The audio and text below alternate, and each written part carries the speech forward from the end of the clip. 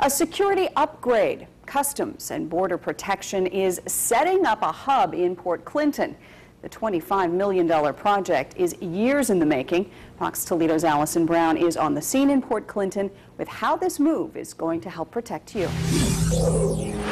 Yeah, pretty soon here in Port Clinton, border security will be enhanced, and the way it's going to happen is actually pretty unique. One, two, three.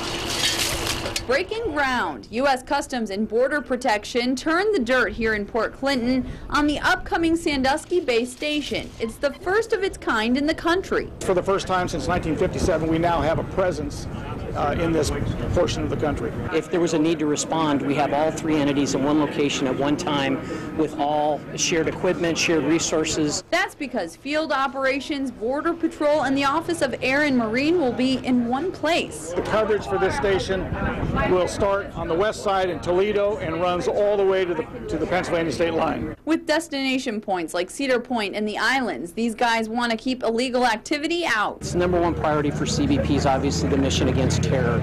Um, that's our number one threat. But there's a lot of things that the, the public doesn't realize. But, you know, we as a law enforcement agency arrest more felons than any other law enforcement agency in the country coming across the border. This is the Midwest. So agriculturally, bugs, and bugs are a big deal. A lot of people don't seem to realize that. But, you know, there's certain bugs that could come into the United States that could get into the crops of the Midwest and destroy them. Whatever the problem, the main thing is that these guys will be here. Plans are to open the more than 60,000 square foot building in early 2012. Allison Brown, Fox Toledo News.